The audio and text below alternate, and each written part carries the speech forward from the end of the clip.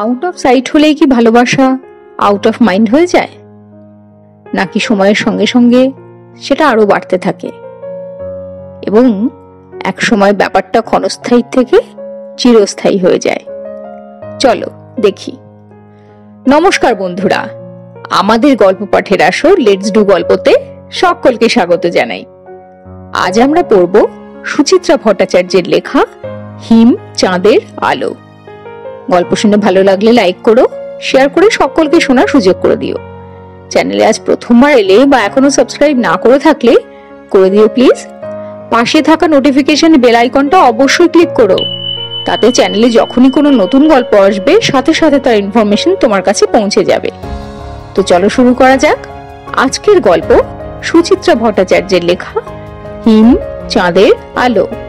তো চলো let's start let's do গল্প। মোবাইলে আবার সৌর্যর নম্বরটা টিপল ঝুম। ধুর, সেই এক record. The number you calling is out of reach. আশ্চর্য, কানপুরের মতো একটা শহরে সেলফোন ধরাছোঁয়ার বাইরে। হুম নির্ঘাত ব্যাটারি ডাউন। তা বলে চার চারটে দিন চার্জারটা কলকাতা ফেলে গেছে নাকি? হতে পারে। হতেই পারে। আইআইটিতে চান্স পাওয়ার পর বাবুর যা তুরীয় দশা, তো আজব ছেলে, একটা নতুন চার্জার তো কিনে নিতে পারে। কিংবা লোকাল বুথ থেকেও তো একটা কল করা যায়। কি চরম ব্যাপকতা আমি।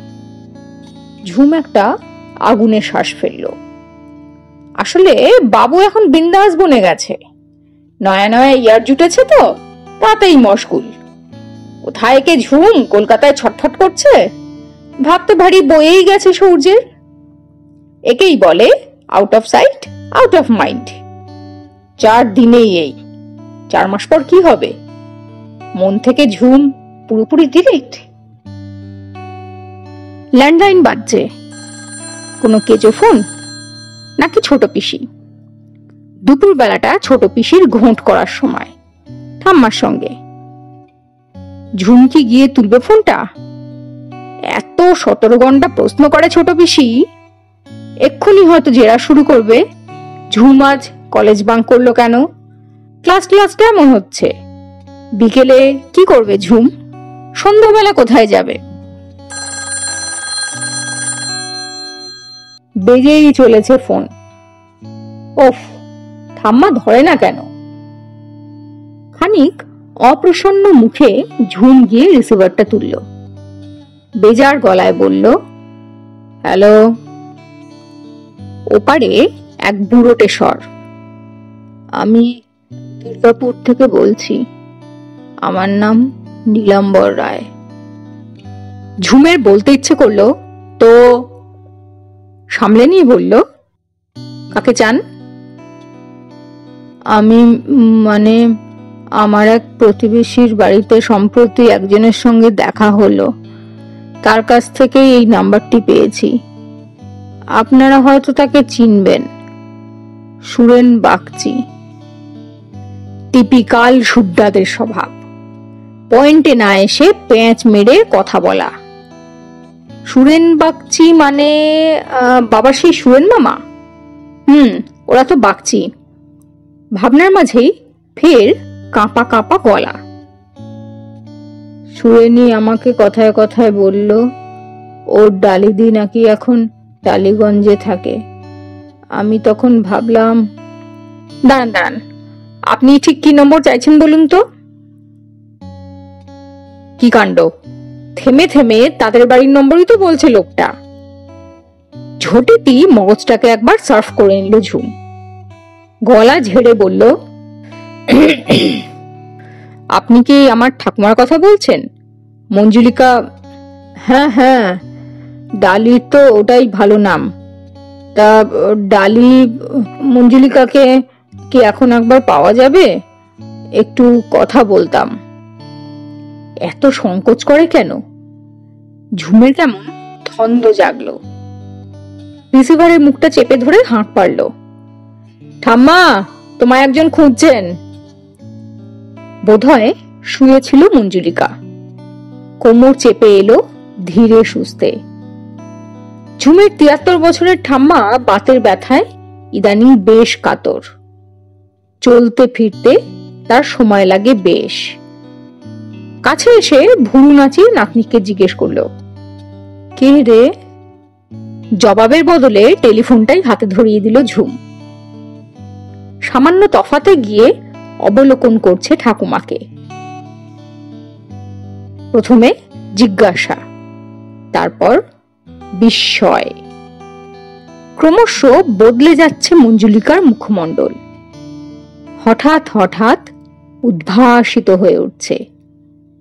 কখনো বা ঈষৎ উদাস, কখনো বা ফোটে নিছকে কেঠো অভিব্যক্তি। একবার হেসেও উঠল খিলখিল। হুবহু কিশোরীর মতো। বকর বকর চলছে তো চলছেই, চলছে তো চলছেই। অবশেষে ফোন যখন ছাড়ল, মঞ্জুলিকা তখন হাঁপাচ্ছে। দম নিতে নিতে ট্যাঁচা চোখে নাতনিকে দেখল মঞ্জুলিকা। ঠোঁট টিপে বলল, ভাগ্যিস সুরেন দুর্গাপুরে গিয়েছিল। নইলে নীলুদা ইহা জীবনে আমার আর খোঁজই পেত না। নীলুদাটিকে হ্যাঁ ঝুম চোখ ঘোরালো। তোমার বয়ফ্রেন্ড দুধ, আমাদের সময় ওসব ছিল নাকি? তাহার উপর আমরা থাকতাম মফস্বলে। সেখানে ওরকম কিছু ভাবাভাবির উপায়ই ছিল না। মঞ্জুলিকা নরম করে হাসল। নীলু আমাদের পাড়ার ছেলে ছিল।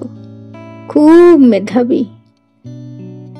কলেজে পড়ার সময় প্রায় দিনই বাবার কাছে আসতো অঙ্ক টঙ্ক বুঝতে। তখনই যা কথাবার্তা হতো একটু আদ্রু। কিন্তু তোমার ভাবভঙ্গি দেখে তো একটু আদ্রু মনে হচ্ছিল না। যা গলে গলে পড়ছিলে। হ্যাঁ হা। বাপের বাড়ির দেশের লোকের গলা শুনলে আনন্দ হবে না? ব্যাস, ওইটুকুই। ঝুট মত বলো ঠাম্মা। না রে, সত্যি বলছি, আমাদের মধ্যে তেমন কিছু ছিল না। মঞ্জুলিকার চোখ তীর তীর করে কাঁপছে। তবে নীলুদার মধ্যে একটু খেপামি ছিল অবশ্য। কীরকম কীরকম? কেমন করে যেন তাকাতো। মঞ্জুলিকা ঢোক গিল কিন্তু ওরা যে ছিল কায়স্থ। ভাগচি বাড়ির মেয়ের ওপর নজর পড়েছে জানলে বাবার পিঠের ছাল তুলে নিত। ও, সেই জন্যই বুঝি তোমরা আর এগোনি ভাজে বকিস না তো, এগোনো পিছনের কথা আসে থেকে মঞ্জুলিকা মৃদু ঝামড়ে উঠল। নীলুদা কলেজ পাশ করে চাকরি নিয়ে চলে গেল সেই আসাম। এদিকে আমারও বিয়ে হয়ে গেল, চলে এলাম এই কলকাতায়। ব্যাস, আর চোরে কামারের সাক্ষাৎ নেই। সে কি গো? তোমার বিয়ের আগে বা পরে কখনো দেখা হয়নি? একবারই হয়েছিল। তখন আমার বিয়ের তারিখ ঘাড়ের কাছে নিঃশ্বাস ফেলছে। তারপর তো নীলুদা বাপ মা ভাই বোনকে নিয়ে শান্তিপুরের পাট উঠিয়ে দেশান্তরী হয়ে গেল পাকাপাকি।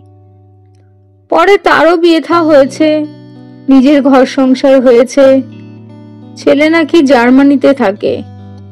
দুর্গাপুরে এখন শুধু কর্তাগির নির্বাস। ওয়াও, এত হিস্ট্রি জানা হয়ে গেল? বলল, শুনলাম। তোমার খবর কিছু জানতে চাইলেন না? সবই আগে শুনে নিয়েছে, সুরেনের কাছ থেকে।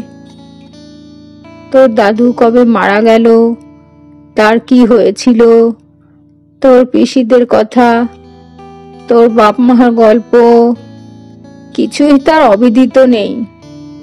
তোর চাকরি করা বাপ মার তুই যে সবেধন নীলমণি, সেটা পর্যন্ত জানে।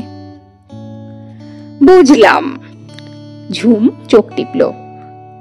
এখনও যে তোমার সম্পর্কে তিনি বেশ ইন্টারেস্টেড সেটা বুঝলাম। তাই তোমার ব্যাকগ্রাউন্ডটাও স্টাডি করে নিয়েছে। ঠাট্টাটা যেন গায়েই মাখল না মঞ্জুলিকা। ঈষৎ দুর্মনস্ক সুরে বলল, সত্যি, নীলুদাটা এখনও পাগলই রয়েছে। কেন? ঝুমের ভ্রু জড়ো। তো মায়ের নতুন করে প্রপোজ করল নাকি? কি যে আবল তাবল বকিস। বললাম না, দুর্গাপুরে তার এখন টোনাটুনির সংসার? বলতে বলতে মাথা দোলাচ্ছে মঞ্জুরিকা। আত্মগতভাবে বলল, তবে হ্যাঁ আমাকে বলেছিল একদিন না একদিন ফের আমাদের যোগাযোগ হবে। কথাটা শেষ পর্যন্ত ফলল তো। ফলিয়ে ছাড়লো তো। চুয়ান্ন বছর পর। ঠাম্মার মুখে এক অপার্থিব হাসি দেখতে পাচ্ছিল ঝুম। হাসি তো নয়, যেন শীতল জ্যোৎস্না। ঝুমের চার দিনের বিরহ, অভিমান, অস্থিরতা সব যেন জুড়িয়ে আসছিল নিজের অজান্তেই।